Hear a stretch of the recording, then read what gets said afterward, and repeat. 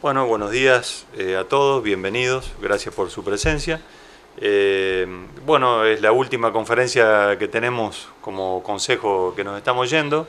Eh, tenemos dos o tres novedades que queríamos comentársela este, a todos los asociados antes de, irnos. tenemos dos que pasan por el lado del agua y una del sepelio.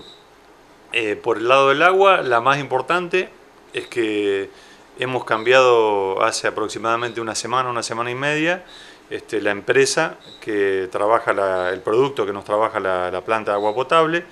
Eh, hemos hecho un cambio muy importante, eh, que o sea, es un poquito largo de explicar, pero para resumirlo un poco, creo que toda la, eh, toda la crisis, el problema que trajo el agua, este, generó un movimiento muy grande en la cooperativa, eh, que terminó eh, con la renuncia del señor Héctor Crespi, del cual estamos agradecidos también. Eh, bueno, a raíz de la renuncia de esta persona, nosotros nos contactamos con el señor Gustavo Echeverría, de una firma muy importante de Buenos Aires.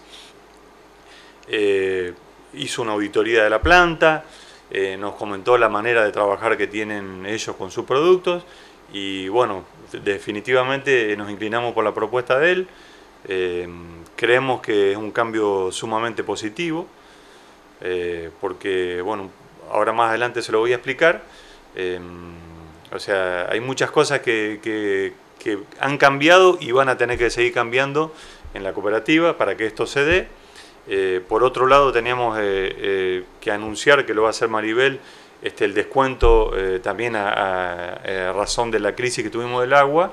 Una decisión del Consejo fue descontar el 50% del básico este, de la facturación en dos veces, que ella después lo, va a explicar bien.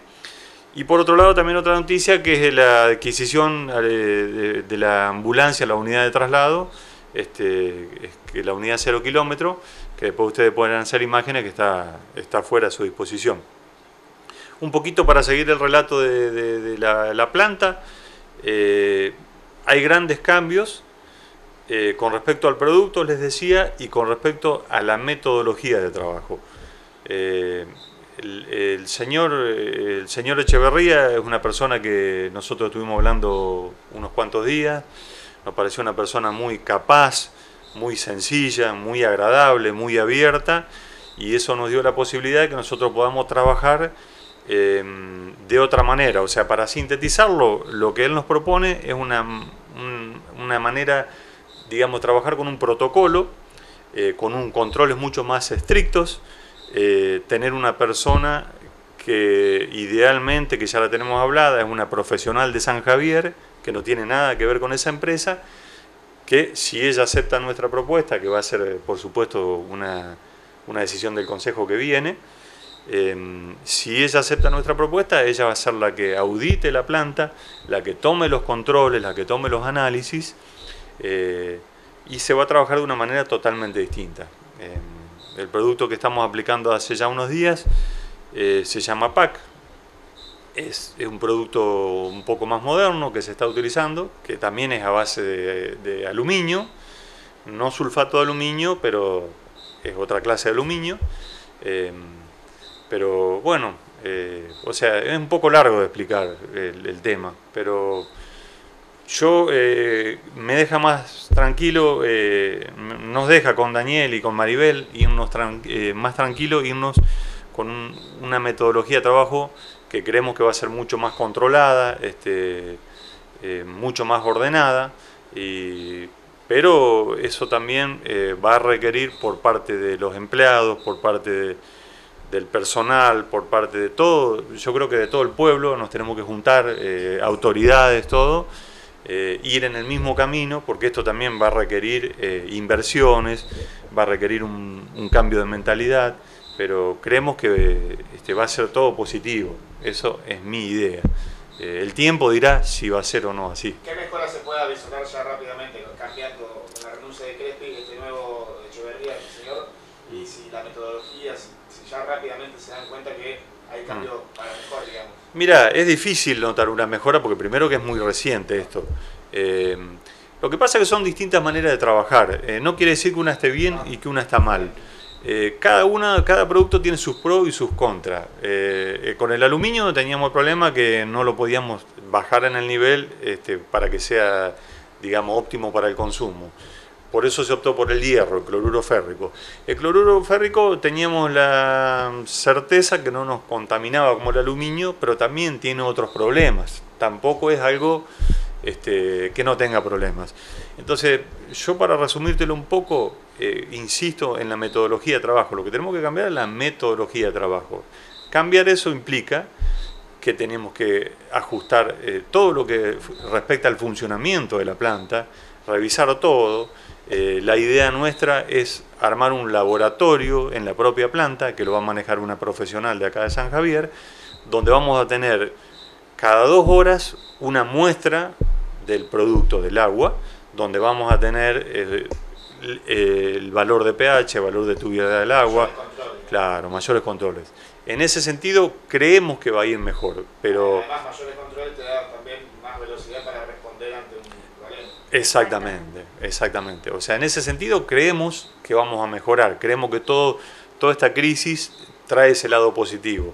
Ahora el tiempo dirá si va a ser así, porque también tenemos que reconocer que nuestra planta tiene falencias.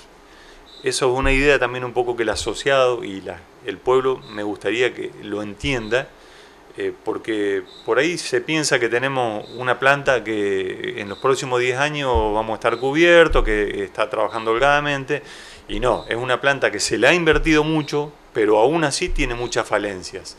Entonces, para acompañar los buenos resultados tenemos que acompañarlo inversión, invirtiendo. Eh, si nosotros no invertimos en la planta, eh, vamos a estar eh, atendiendo una pata del problema, pero no estamos cerrando todo. No sé si me explico. ¿Cuál sería la, inversión o la solución al tema de la planta? Mirá, todavía no te puedo dar una cifra definitiva. Yo lo, yo lo que, yo lo que, ya te doy, yo lo que te puedo decir es en principio, para armar un laboratorio en la planta, y tenemos que hablar de por lo menos 120 eh, mil pesos más otros 120, 250 mil pesos para empezar a armar un laboratorio en la planta. Después, eh, o sea, el señor Echeverría va a volver la semana que viene a trabajar en la planta y él se comprometió a hacernos un informe de acuerdo a las prioridades y lo que tenemos que invertir.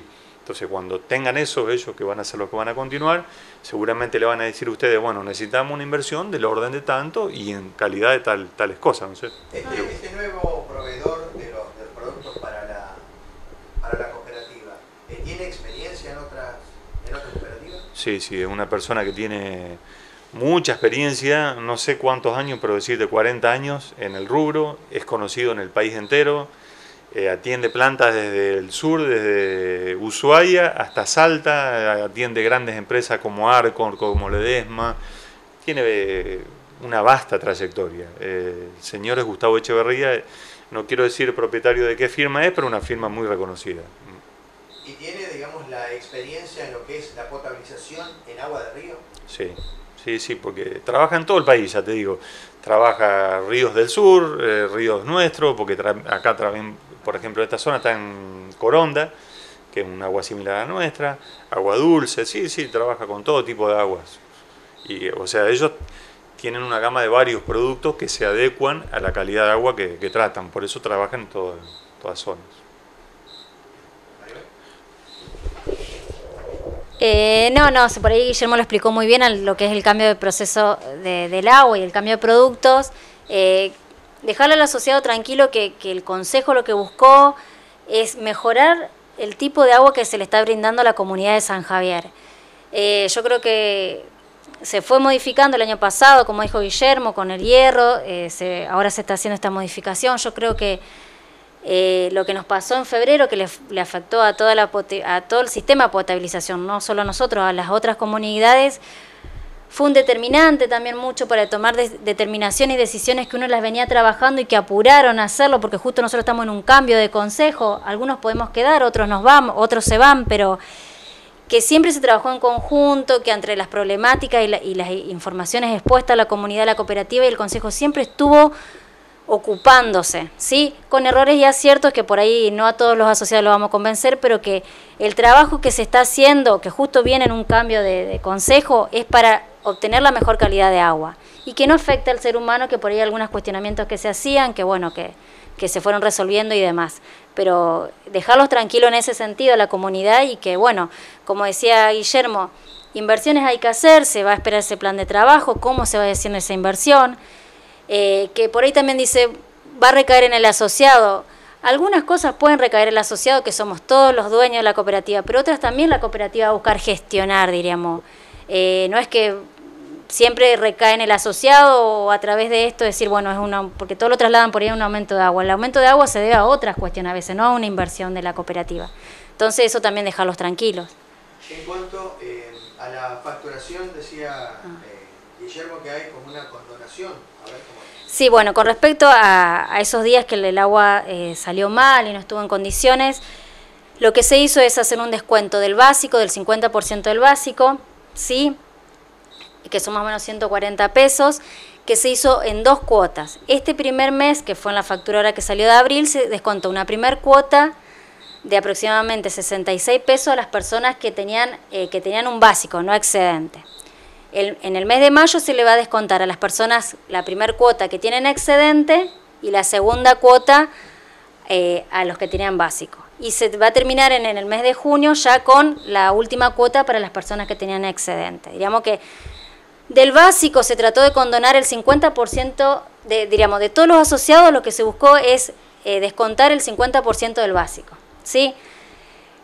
Dentro de las personas que tienen excedente se descontó a partir de este mes porque como hay un cambio de medidores que se venía haciendo, lo que se hizo es a ver si esos excedentes estaban bien y demás para no recaer en modificaciones que no correspondan. Ese, esa, esa condonación de deuda a la cooperativa le significa aproximadamente medio millón de pesos. Que en tres meses la cooperativa cobra menos, menos de medio millón de pesos. Entonces diríamos, es un esfuerzo que hizo este consejo, un esfuerzo que buscó reconocérsele al asociado que el agua no estuvo en las mejores condiciones, sí para consumo, pero no por, qué sé yo, eh, el, agua salía eh, de color, para el lavado y un montón de cosas. Entonces, digamos, es el modo que la cooperativa buscó de eh, subsanar esa falencia que tuvimos y que la que reconocemos y que, que, bueno, que tratamos de solucionarlo de esa manera. Hablando de inversiones que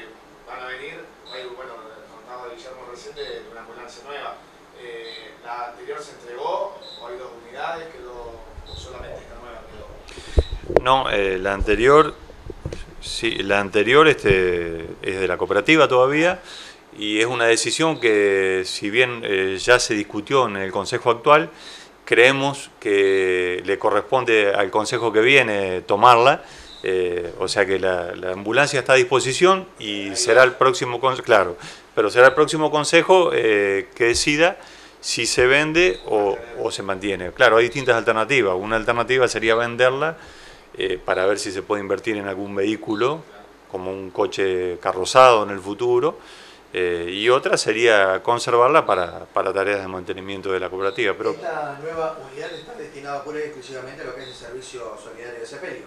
Correcto, unidad de traslado, exactamente. ¿La inversión de, de cuánto ha sido en esta, en esta unidad, aproximadamente?